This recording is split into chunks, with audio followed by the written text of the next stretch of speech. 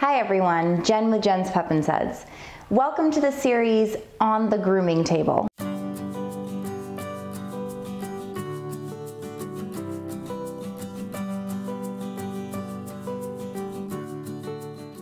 Today we're talking about combing and brushing. Do you know which dogs need to be combed and brushed? The answer is all of them. Um, from short hair dogs to long hair dogs to double coated breeds, each one of them needs to be combed or brushed or both.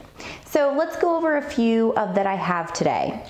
The slicker brush is what we're gonna use on most any dog, aside from um, labs, beagles, chihuahuas. This is gonna be on doodles, this is gonna be on shih tzus, yorkies, any dog that has long hair that you wanna keep fluffy, this is gonna be your brush.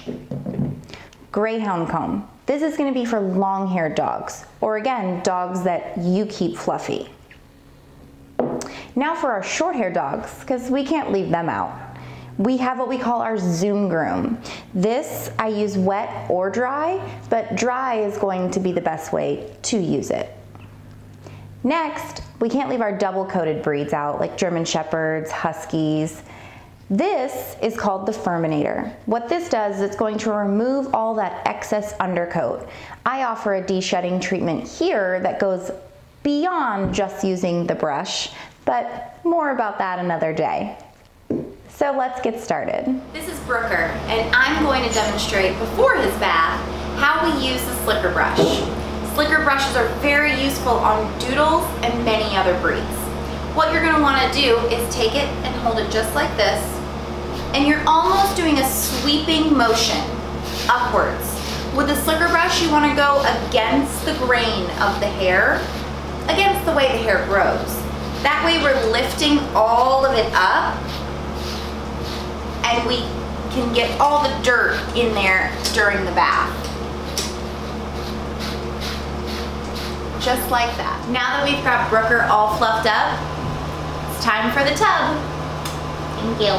Thank you. Now that Brooker's all bathed, we wanna go ahead and brush him and comb him again.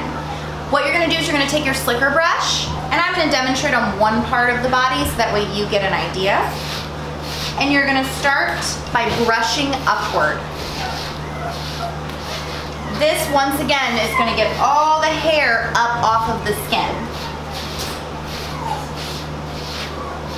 We're gonna go against the grain of the hair.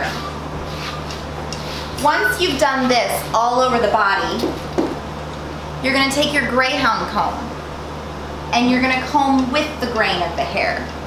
As you can see, this gets all the way down to the skin and we can make sure that Brooker doesn't have any knots. If you do run into a knot, something handy that you can do is turn the comb this way and kind of pick gently at the knot a few times and then you should be able to brush it right out.